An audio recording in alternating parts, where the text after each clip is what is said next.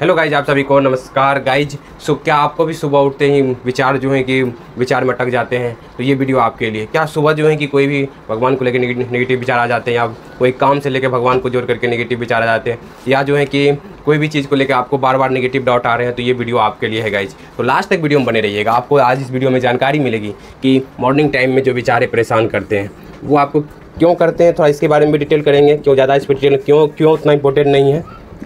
क्या करें जो है कि इससे सोल्यूशन निकले? मार्कर कहीं चल रहा है, क्या करें कि इससे सोल्यूशन निकले गाइज़ तो इस पर हमें फोकस करना है गाइज़ चलिए लास्ट तक बने रहिएगा। मार्कर कहाँ चल, दूसरा मार्कर दीजिए। हाँ गाइज़ क्या करें इसका सोल्यूशन पे बात करेंगे गाइज़ सोल्यूशन के ऊपर बात करेंगे। सुबह उठते ही क्या होता है कि मन में जो है कि बहुत लोगों को कोई कोई ये धारणा बाल लेते हैं कि धारणा मान लेते हैं कि सुबह उठ करके जो विचार पहला विचार आया, वही विचार सत्य होता है। वही विचार जो है कि जो सुबह सुबह आया है, कहीं आज हमारे साथ वही हो जाएगा।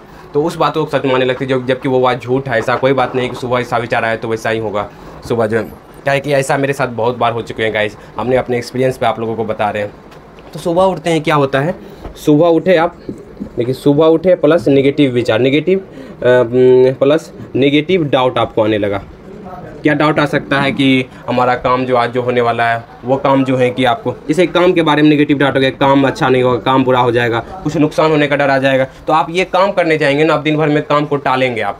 क्या आप ऐसा काम करते कि नहीं करते? अगर ऐसा कर रहे हैं तो ये की बीमारी है।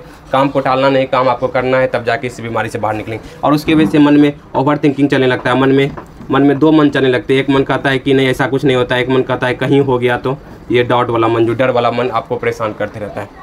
एक जो उसके बाद क्या होता है, आपका बिहेवियर चेंज हो जाता है।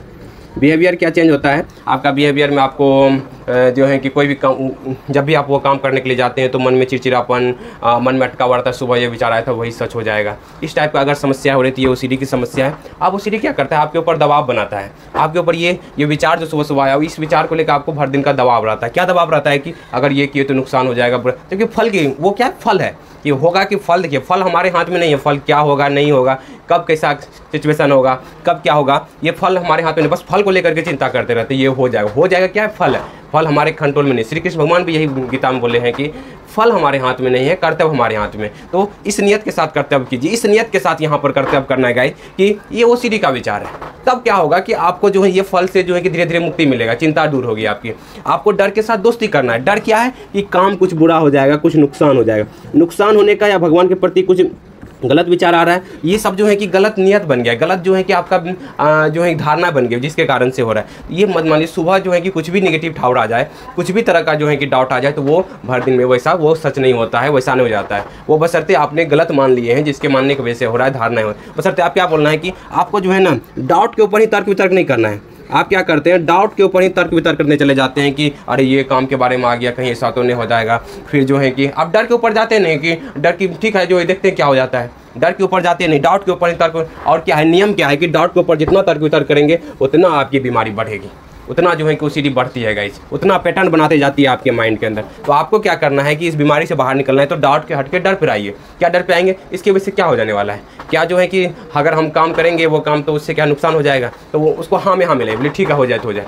क्यों? आपके साथ होने वाला नहीं है, क्योंकि ये ओसीडी बीमारी ओसीडी ओसीडी का झूठा डर है, उस डर को आपको फेस करना है। आपको बीमारी है, आपके आपके माइंड का प्रॉब्लम है तो आपके माइंड के अंदर प्रॉब्लम है तो ठीक, कोई डॉक्टर या कोई काउंसलर या कोई वीडियो से आप देख सकते हैं, सुन सकते हैं, लेकिन अप्लाई तो अपने अंदर करेंगे, तब तो आपका दिमाग में बदलाव आएगा ना गाइज़ कहाँ ठीक करना है? यहाँ दिमाग में ठीक करना है ना? यहाँ विचारे आ रहे हैं यहाँ पर जो है कि डर, शंका, विचार, घबराहट हो रही है तो यहाँ पर जो है कि ठीक करना है तो इसको लिए, इसको फेस करना पड़ेगा।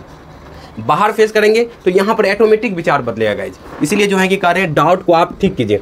डाउट को जो है कि ठीक करने का प्रयास मत कीजिए डर को आपको क्या करना है? सहन करना है फेस करना है। आप जो डाउट को ठीक करने का प्रयास करते हैं तो इसकी वजह से क्या होता है? आप फंसते हैं और जो बीमारी बढ़ती है तो आपको क्या करना है? सुबह उठे किसी भी तरह का विचार है अचानक से उठ जाना है बेड पर से बोला जो हो जाएगा हो जाए ठीक है। हाँ ये ओसीडी का प्रेशर है। ये ओसीडी आपको बार बार झूठा प्रेशर दे रहा है। ये जो है कि इस, इस पर तर्क वितर्क नहीं करना है। तब क्या होगा? सुबह आप हल्का फुल्का आप पहले थोड़ा दिन परेशानी लगेगी लेकिन धीरे धीरे आपको ये आदत बन जाएगी। आप खुद देखेंगे कि कुछ हुआ नहीं मेरे साथ। तब फिर क्या होगा? आपका कॉन्फिडेंस लेवल बढ़ेगा और आप अच्छे तरीके से, आपका अपने नज़रों में उठेंगे। सुबह कुछ होता है बस ऐसे ही ये ओ बीमारी के कारण से हमेशा ऐसा आ जाता है। तब फिर इस बीमारी से आप बाहर निकल लेंगे गाइज़ तो उम्मीद करते हैं वीडियो में आपको बहुत सारा चीज़ अगर कोई आप अपने से नहीं निकल पा रहे, दिए गए नंबर पर लिख करके लिखा हुआ जो उस पर बात कीजिए हमसे और चाहे तो काउंसलिंग भी ले सकते हैं और इस बीमारी से बाहर निकल सकते हैं। उम्मीद करते हैं वीडियो आपको बहुत बढ़िया लगा अच्छा लगा तो लाइक करें सब्सक्राइब करें दूसरे दूसरे ग्रुप में शेयर करें।